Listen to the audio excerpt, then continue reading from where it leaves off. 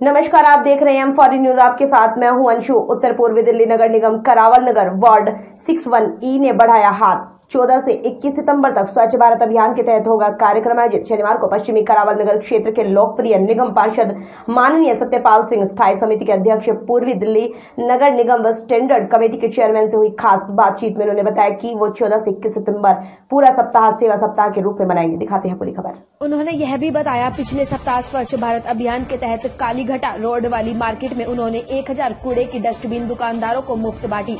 उनका लक्ष्य 4000 डस्टबिन मुफ़्त बांटने का था, जिससे मोहल्ला एवं बाज़ार में साफ़ सफ़ाई का विशेष ध्यान रखा जाए। जिससे गंदगी से उत्पन्न होने वाली बीमारियों पर अंकुश लगेगा। उन्होंने यह भी बताया, वैसे तो पूरी दिल्ली व करावल नगर वार्ड में भी गंदगी दिल्ली छोड़ो अभियान के तहत पूरे सप्ताह साफ़ सफ़ाई का विशेष ध्यान रखा जाएगा व गरीब बच्चों को कापी, किताब, पेंसिल, रबड़ इत्यादि पूरे सप्ताह मुफ़्त बांटे जाएँगे और कोरोना योद्धाओं को भी सम्मानित करने का कार्यक्रम आयोजित किया जाएगा, जिसमें मुखिया डॉक्टर, पुलिसकर्मी, पैरामेडिकल सफ़ाई कर्मी आदि रहेंगे। उन्होंने लोगों को कोरोना वैश्विक महामारी से बचने के लिए पूरे वार्ड को कई बार सैनिटाइज भी करवाया। जहाँ बड़ी गाड़ी नहीं पहुँचती थी, जो छोटी व तंग गली थी, उस जगह पर पिट्ठू पंप के द्वारा गली मोहल्लों को सैनिटाइज करवाया गया। कोरोना वैश्विक महामारी से बचने के लिए लोगों को जागरूक किया। व मीडिया के माध्यम से लोगों से अपील की, अपने हाथ बार बार साबुन से धोएँ व सोशल डिस्टेंसिंग का पालन करें व मास्क ज़रूर लगाएँ। दीपक कुमार शर्मा की रिपोर्ट।